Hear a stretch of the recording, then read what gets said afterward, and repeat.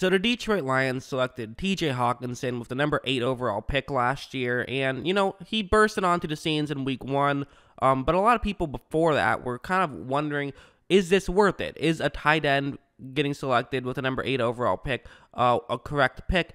Even if you know he's someone who can still uh, be very, even if he is very good, I think everyone figured, okay, this guy's great at a draft, but a tight end that early is that the correct decision for us to make, especially when the Lions, you know, they couldn't really afford a luxury pick so much, they kind of needed, uh, you know, they needed a lot, let's be honest. Um, but they went out and got him, and the doubters after week one were immediately feeling stupid because he bursted onto the scenes. He had six receptions for 131 yards. He also had a touchdown, and so things were looking great. But then he ended the season with 367 yards and just two touchdowns. So, you know, he had basically over a third of his output in just that one game. So, uh, you know, I figured it'd be interesting to go back, see what went right in that first game, and then what went wrong throughout the rest of the season, which resulted in him, uh, you know, not doing too much. Part of it was injuries. He, he missed a few games, but uh, there was some other stuff as well, so I want to get into all of it. First, let's start off with the good against Arizona. Um, and you know, I made a video about uh, Marquise Brown. I, am not sure if I'm posting that uh, before or after this one because I'm making them at the same time. But there's actually a lot of similarities between those two guys. Brown, you know, he bursted onto the scenes week one, had a big game against Miami, but a lot of it was due to Miami just not playing very well. Well, it's kind of similar with Hockenson. A lot of why he was able to have so much success uh, in this week one matchup was because he was going up against Arizona, a team that we would find out later would be the worst team against tight ends, and especially against quick tight ends. So, uh, you know, that's part of why Arizona went out and drafted Isaiah Simmons, someone who can be physical enough to keep up with a tight end, but also fast enough to keep up with one of the faster tight ends. Uh, Arizona didn't really have any answer. Like a play like this, it's going to be a cover two man, and that's going to be Hockenson's route. He's going to be cutting up towards the sideline on the top of the screen. And if you notice, the linebacker who's in charge of covering him is currently on the hash marks on the bottom of the screen. So if Hockenson's running towards the sideline and the linebacker in charge of covering him is very far away, this is obviously a very good situation for the Lions. This is just them not really uh, taking Hockenson seriously, and they're going to regret that severely as you know he's able to easily get open and at you know even run after the catch and pick up even more yards. I mean that's just uh just a mistake by Arizona more than anything. But also, you know, listen, give him some credit. He ran that route well and was able to pick up more yards after the catch. So, um, you know, he did his part for sure. But honestly, I would say the vast majority of that was just an Arizona mistake. Uh, again, I always say what the good teams do is they take advantage of opposing players' mistakes. What the good players do is take advantage of mistakes. He took advantage of a mistake there. Don't hold it against him, but this will factor in. I mean, this next play also, it's another mistake where um, it's it's man coverage again. You have those two Arizona players who are covering Hockenson and uh, the halfback. And the reason why I have those two, um, uh, the reason why I'm focusing on those two is because it's going to be play action, and Hockenson is running around over the middle. So okay, you know this makes some sense. You you will sometimes uh, be able to get this open, but watch what happens right after the ball is snapped and look at how well it works out. The Arizona player who I have in that box right there, who is closest to Hockenson, he wasn't even supposed to be covering Hockenson on this play. He was supposed to be covering the halfback, but he just looked over and realized, okay, this guy's wide open. I have to do something about it. So he just alertly abandoning his assignment to do the right thing here. Uh, you can't blame him so much. I mean, you know, he was in position to cover his player, but then uh, he realized that another Arizona player completely bent on a play action and ran further in. So, you know, good job by Detroit. They fooled Arizona on the play action. But the reason why I'm kind of bringing this up is because it's it's more so a good X's and O's sort of scheme play than it is him just being great and getting open by himself. You know, he runs the rest of this route well, and again, he has that speed in open space. He's able to pick up a ton of yards after the catch. So I'm not trying to take away what he did. He did some things very well, but this isn't the kind of thing that he's going to be able to do consistently 16 games in a season. And listen, he had some good plays too. I'm not trying to just say that like it was all scheme and you know, he just did a little bit, you know, to help uh, after he gets the catch. He made some good plays. This one, it's a one on one matchup. That's the route he's going to be running. And what I really like about this move that he's going to pull off here is that he waits a good amount of time before actually cutting over the middle. So that way, when he does, he gets to the inside, he gets that leverage, and gets enough separation, he's able to make the grab.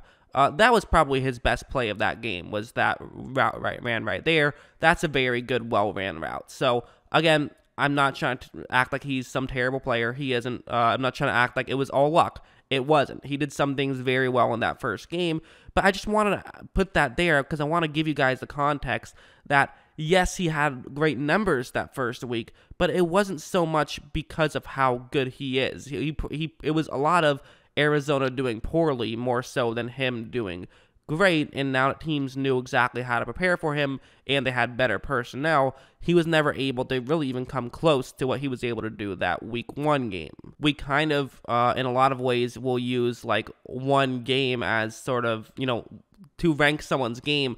Oftentimes, we'll just look at like the yards. Uh, but it doesn't really work out that way. You know, his 131 yard game wasn't really the equivalent of a 130 yard game if it was against a great defense, you know. So you know these things they, they hold different weight to some degree. Again he was great in that game don't get me wrong but uh, there's a reason why the next highest total yards he had in a game was 56 and you know he didn't have over 35 yards in a game until that week which was week 9 the next thing I want to transition and talk about, and probably his biggest weakness as an NFL player right now, is his IQ. It seems like he just um, he needs a lot of reps. To be honest, he needs to get out there more and just get a lot of reps because I think that he uh, he he made some play some plays that to me a lot of them do look like they're rookie mistakes, but at the same time he definitely made a good amount of rookie mistakes, and so hopefully those will be cut down in his second year when he's had more experience. But like this plays an example it's going to be a cover one play. So, you know, the middle of the field is it's, an end zone situation. So they're taking away the middle of the field. And Hockenson's route, uh, what he's going to do, is man coverage, and his route is going to be cutting towards the middle of the field. So, you know, there's not a lot of space for him to operate right here. He might get open for a split second. It's a good angle if they can get it there, but again, if a Philadelphia player in the middle of the field takes away this route, it could be completely, you know, it'll be completely gone at that point. So for Hockenson, he's going to have to get open relatively uh, quickly. He doesn't have a lot of space to operate here. And so right after the ball is snapped, you know, that's the Philadelphia player he's going up against. And this is seemingly in a decent situation. You know, he's closer towards the uh, bottom of the screen than the top of the screen. So, you know, if Hockenson is trying to get towards the middle of the field, there could be some separation right here. So, you know, and he, he can't get there quick enough. It's going to be about how does he cut right here. And there's a couple things he could do. One is he could just cut, you know, just go up to the top of the screen, don't do anything fancy. The other is he can make a move and then try to get up there. You know, he could fake as though he's going down, then go up. That's another option he has on the table. What he's going to try and do is make a move uh, and then go up. That's the decision he's going to make, which you could already say is probably not the best move. I think, you know, you have when you already have the separation, you don't have to worry about getting more. Trust your quarterback just try to get open. Uh, but he's going to make a move, which I don't hate. I mean, I think it's you can do either one. Uh, but the problem is going to sort of be with his move, and watch how far he's going to step out, which at that point, that long stride gave the Philadelphia defender plenty of time to come back and get into the play. He basically ran straight into him. And you don't want to do that. If you're going to make a move, you have to really make the move. And his move was not a very good one. So, again, it's understanding what you can do, knowing that in that situation, if your move is going to be to jump right into him, uh, that's not going to work out too well and it can result in an easy uh, deflection. What you want to do is if you are going to make a move, you want to do it quicker enough because you don't have that much space. He just he didn't have enough space to pull off the move he wanted to make, but he still tried to make the move, which is, you know, again, that's a rookie mistake. In in college that move probably works out. In in the pros it's a little bit different. Talent level is a lot higher. You have less room for error. So that's not anything that I'm worried about. And actually, I think that's a positive because he's going to learn how to, you know, fix those mistakes and he'll be better his second year and he'll probably get a touchdown on that play as opposed to not being able to make the play.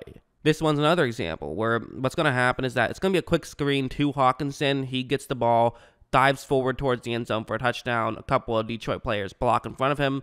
Simple, you know, doesn't get too fancy right here. What could I even break down? Well, you know, right after he makes the catch, the ball is maybe a little bit low, not even really that low, but watch how he kind of just already starts diving right here. He's already going down, which, listen, you are supposed to dive towards the end zone, so, you know, that's not a terrible, like, mindset totally, but in this situation, he can, you know, he doesn't have to dive right here. He, there's no one really in his area. He can be on his feet. He just hasn't really uh, had the time to look around and see what's totally going on. So when he dives and gets close, he ends up getting stopped just short of the goal line. Whereas if he stays on his feet and then gets tackled and falls forward, he's getting a touchdown. Uh, he just he went down a bit too early because he didn't totally know what was around him, and that resulted in them not being able to get the touchdown. So again, that's just something where it's like the more reps he gets, he won't do that in the future. But he did that this time, so it has to be mentioned. But I do, again, I really do. I think that this is these are mistakes that he will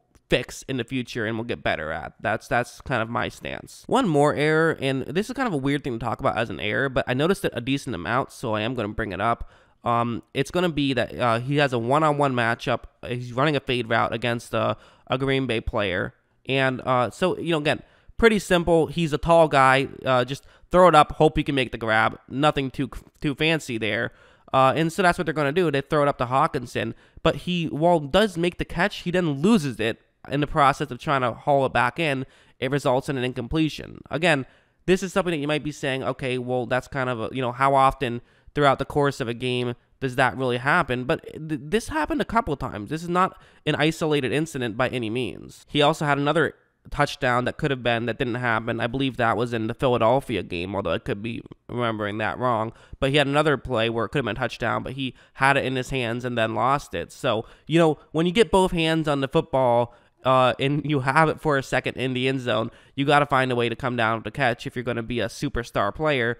Uh, and, and, so that's just kind of uh, where he's at. You know, listen, Hockenson, he's still a great blocker. He still has a ton of value. Um, but he, I think that he's it's going to take him a bit until he be, is able to become the guy who he was week one. And honestly, I don't know if he ever actually was the guy who people feel like he was week one. I think he was probably a bit overrated after that game. But the other thing I'll say is that, listen, tight ends historically take a very long time to develop, and they're almost never good their rookie season. So, you know, these are things that we will, we sort of expect for him to to have to learn and grow from, I think. At least I do. I mean, the guy only had 525 total snaps last year, and 180 of them were him run blocking. So, you know, and 30 of them were him pass blocking. So he only had 300 uh, uh, snaps where he actually ran routes last year. So, you know, that's the problem with tight ends. It just it takes a while for you to get those reps. So, uh, you know, I think that he, I think he'll be good in the future. But at the same time, let's not get too ahead of ourselves here. I almost feel like he got a bit, he's now going to be a bit underrated because he had that one great first week. People are saying, well, what's happening? Why, why didn't he continue doing that? But just because he had one great week doesn't now mean that he's going to be the first tight end ever or one of the first tight ends ever to burst onto the scenes and have a Pro Bowl season his rookie year. That almost never happens. But I have confidence for him heading into year two. What do you guys think about TJ Hockenson? Let me know in the comments below. And of course, as always, thanks for watching.